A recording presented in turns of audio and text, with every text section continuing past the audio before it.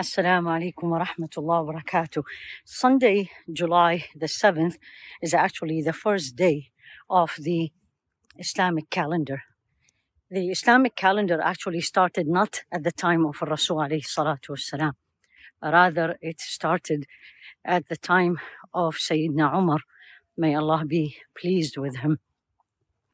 He uh, actually was asked by one of the companions that we are receiving letters from you, but we don't know the date of it.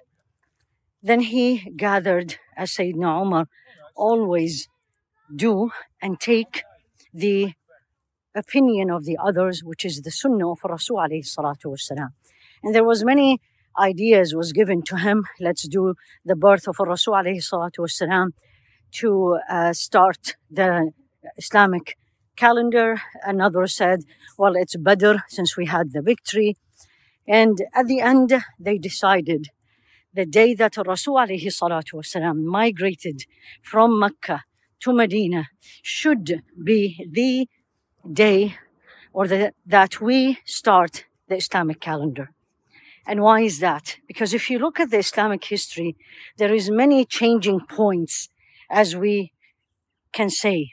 But the one that really changed, and a lot of lessons learned from it, is when he moved, alayhi salatu wasalam, left everything behind him, left the most important or the most beloved thing to him, which is Mecca, for only one reason. Number one, and the reason, because Allah told him. And the second and the third, as we know from the history, that Islam changed completely when he moved, alayhi salatu wasalam, to Medina. Islam changed in the way it became much stronger. The, the real Islamic society started, built, became much stronger in Medina. For us living these days, we need to know the followings. Number one, let's not forget our heritage.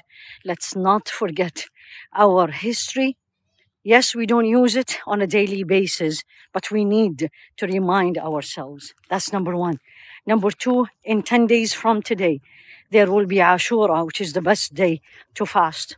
And the most important thing for me and for everybody to remember that when we move and when we leave, sometimes what we love and what is dear for us, for the sake of Allah, Allah will give us much better.